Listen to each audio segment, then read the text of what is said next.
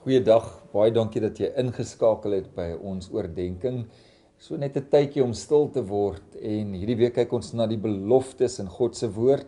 En ons sou daarmee kon aanhou vir jare, maar ons gaan ietsie beleef van God se liefde en teenwoordigheid en sy beloftes. En ehm um, vandag praat ons 'n bietjie oor om besorg te wees. En jy het dalk waarskynlik wakker geword of in hierdie dag al by verskeie plekke gekom wat jy dink aan aan dinge wat jou bekommer, waaroor jy besorg is. Martin Luther het gesê dat die lewe se sorges ons harte in beslag neem. Gaan nie oor die omvang van die gevaar nie, maar dit gaan oor die omvang van ons ongeloof. En ons praat baie daarvan oor versoekings, maar ons kan dieselfde sê van van besorgdheid. Besorgdheid en bekommernis Hulle sal soos voeltjies maar oor ons koppe rondvlieg en is my en jou verantwoordelikheid om te sorg dat hulle nie kom nes maak in ons harte en ons lewe en ons vreugde en vrede kom steel nie. So hier's 'n wonderlike belofte uit die woord van die Here en ek wil jou dadelik vat na Lukas 10 vers 42. Kom ons lees dit saam. Uit die Nuwe Lewende Vertaling sê daar is regtig net een ding wat nodig is om oor besorg te wees. Maria het dit ontdek en ek gaan dit nie van haar af wegneem nie. Sjoe, Maria het hierdie een ding ontdek. Een goeie rede waaroor 'n mens besorg kan wees en die Here sê hy gaan nie dit van haar wegneem. Wat het Maria ontdek?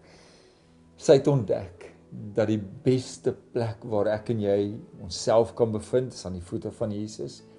Die beste plek is in sy teenwoordigheid.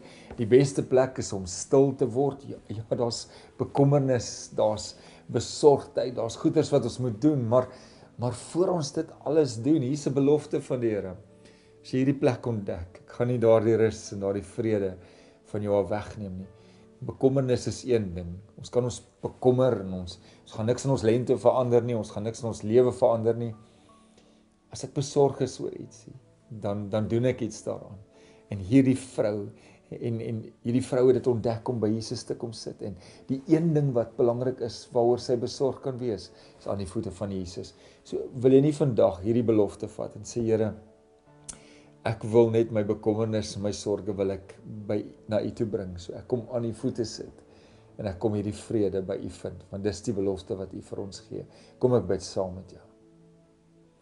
Here U leer ons uit hierdie gedeelte dat daar een ding is wat nodig is waaroor ons besorg kan wees en dis net om by u voete te sit.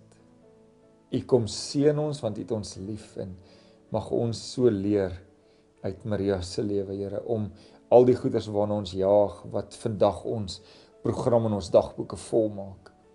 Net vir 'n oomblik eenkant sal sit en net by u kom stil word om hierdie vrede te ervaar. Lei ons asseblief so Vader in Jesus naam. Amen.